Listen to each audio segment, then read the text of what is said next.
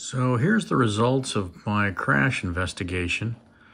When I took the gearbox apart, inspected the gears, they were not stripped.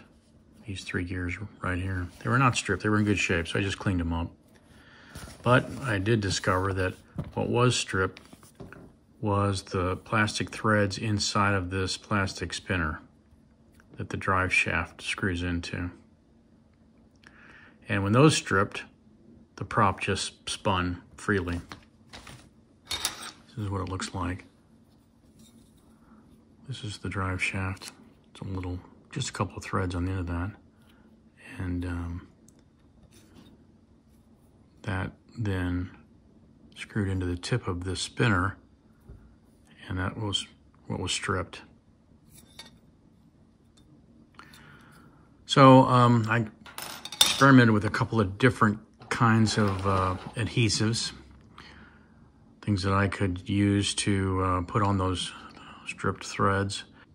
Nothing I tried worked very securely, so I wound up putting a touch of CA glue on the threads, and that seems to be working. Also, I'm going to step up to uh, 3 16ths inch rubber. And the plans also called for adding a couple of drops of um, vegetable oil to the gears inside the gearbox to lubricate them. So I did that as well. I also added,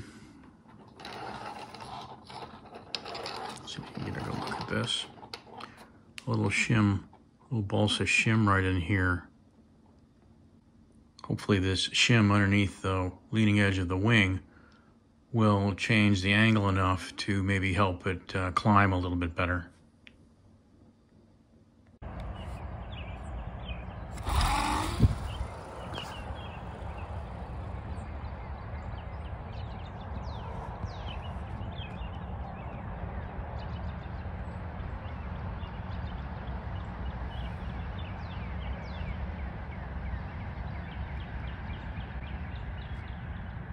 Hey, it's the furthest we've gone so far.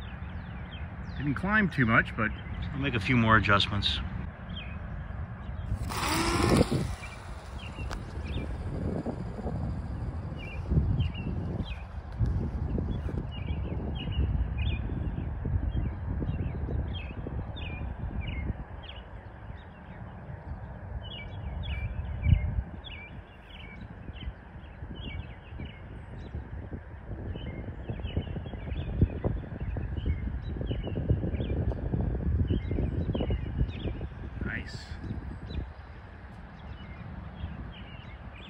Right. Well, I think putting a little shim on the top of that cowling to get a little more down thrust helps somewhat.